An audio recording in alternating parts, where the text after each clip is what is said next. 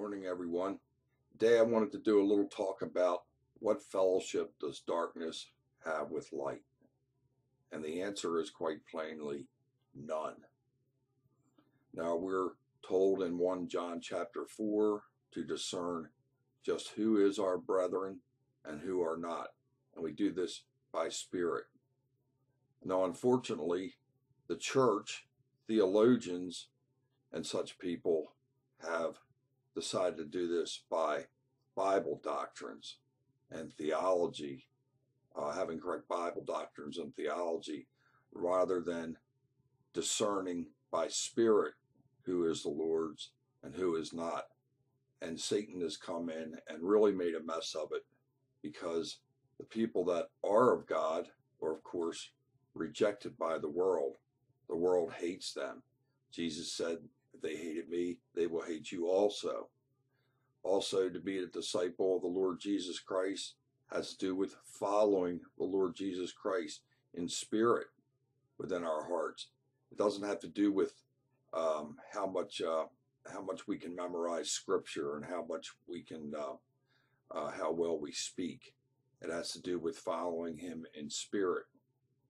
Now, in Romans nine, it talks about predestination, and predestination simply is God chooses his people, not men. Now, in the church age, people have taken the Apostles' Commission to um, preach the gospel to the world unto themselves uh, rather than being led of the Holy Spirit and told of God uh, of just who and who not um, to preach to, quite frankly. And this is anything that's done in our own power, in our flesh, independent of God, is moving in the flesh. And a lot of institutions have decided that they have the Bible, so they don't really need God to move them because they have good Bible doctrines or they're charismatic type of speakers. So therefore, they're going to go preach the gospel to everybody that some might be saved. Okay, well, on the whole of it, I guess that's all right uh, for a Christian informed nation as it's been in the past. But the truth of the matter is, God is the one who chooses his elect, and it is for his elect's sake that he engineers the circumstances that brings them to salvation. Men cannot play God uh, and have people sign up for Jesus and and then stand before God and say, "Look what I did for you." Aren't I wonderful? Because that's boasting before God, and uh, salvation is by grace and grace alone that no man can boast. now, this gets down to what fellowship does darkness have with light?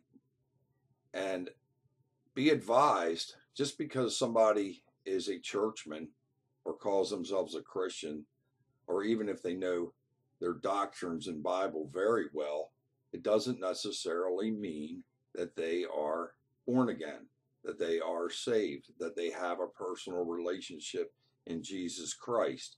It, and if they have no re- personal relationship in Jesus Christ, they cannot hear the Lord. They cannot walk in the Spirit. They cannot follow Him.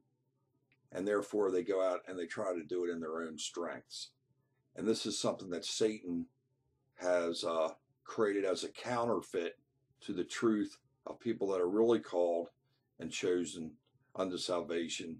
And our disciples have chosen to make themselves a bond servant because Paul said he is a bond servant to Christ. And why did he say that he would make himself a bond servant? Simply because uh, we have the ability to walk away from our Lord, to act independently of Him. So he chose to make himself a bond servant. Now, a lot of people make themselves a bond servant to the Bible, a bond servant to church, a bond servant to theology, a bond servant to whatever kingdom they are trying to build for themselves upon the earth. And this is what a lot of churches do, and a lot of churchers, what I call, do. Uh, but a true Christian, born again Christian who hears the Lord, my sheep hear my voice, Jesus says, will do um, will follow Christ in their spirit and not of their flesh, provided, of course, that they've learned how to walk, that they're not babes, and that they do indeed hear and follow the Lord as a disciple. You cannot be a disciple of someone if you don't personally know them. And I'm afraid this is what a lot of uh, preachers are today. They uh, they they use the Bible or spin, if you will, uh, to build their kingdom, to build their following, to do something for Jesus rather than being told uh, or directed by the Holy Spirit um, whom to teach and who not to teach. And the problem is when we teach the wicked the Bible, uh, and there are a lot more smarter people than I am out there, of course. Um, but then you have a problem because then then they become a bunch of Pharisees, a bunch of intellectuals in the scriptures. And I've noticed my biggest problem has been with um, very intelligent people uh, that I discern do not know the Lord personally, but yet yet know all the scriptures and all the verses to point out error in me or perceived errors they have in me and to point to why they are followers of Christ and I am not. But um, and so this is why I can have no fellowship with them in spirit. It doesn't matter how much good Bible doctrines they can uh, they can put forth. It doesn't matter how well trained up they are in theology. Um, all these things are academic and are done of the mind.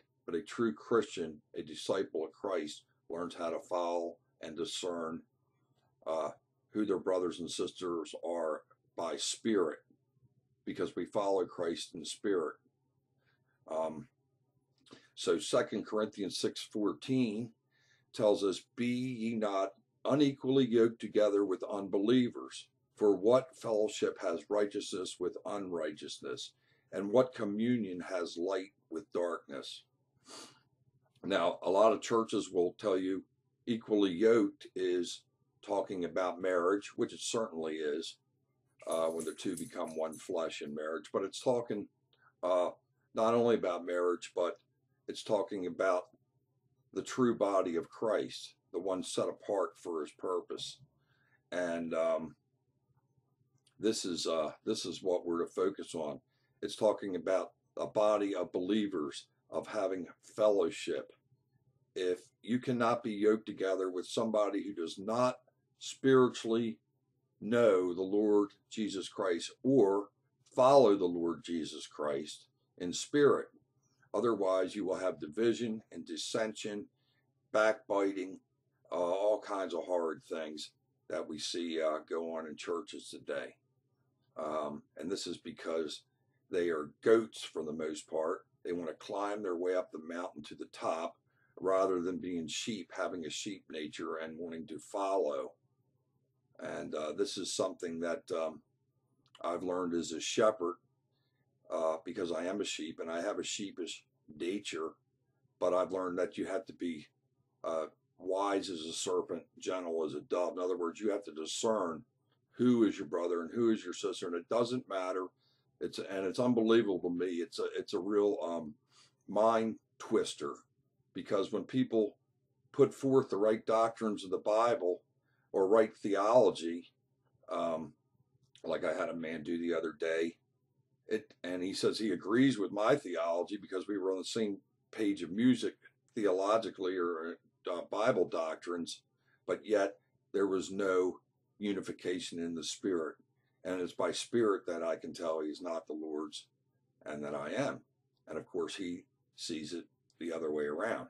He sees that he seems to believe, I'm sure, that uh, I am in darkness, that I am confused, but I know what the truth is. And this is what we're to discern if we're true born again Christians. Ephesians 5:11 and have no fellowship with unfruitful works of darkness, but rather reprove. And I try to reprove a um, so-called minister of the Lord, a so-called brother in Christ and they don't receive it, well, what does that tell you? It tells you that they're, that they're spiritually blind, they're spiritually deaf, that they will not take that reproof. Now, if they were the Lord's, then they would take that reproof. They would understand uh, what you're speaking to them because the Spirit would quicken the truth to them. So, this is how you tell.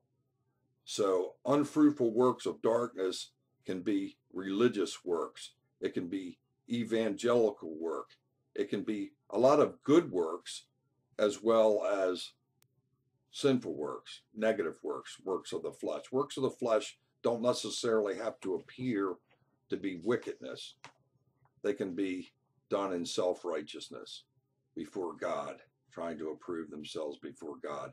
So that's why I wanted to make this little video today, because beware the uh, the church, the churchmen, uh, are very very close counterfeit to the people who actually know the Lord Jesus Christ. And the only way that you can tell them is by spirit. And therefore, when you get involved with them, like I have, you continually have to get on your knees and ask God what to do because if God hasn't moved you into ministry per se, like perhaps um, I believe He called me into, then uh, I could have gotten into ministry or doing a work for God in my flesh. Now, it's not necessarily the case because I could be doing a work for the Lord as He leads me. This is why it's very important to pray in everything that you do and have God's direction and not do it independently of Him. Uh, but then Satan again in and, and try to kick your slats and try to tear down something of God. So you have to be very careful of who you fellowship with. Thank you, brothers and sisters, and God bless your understanding in this.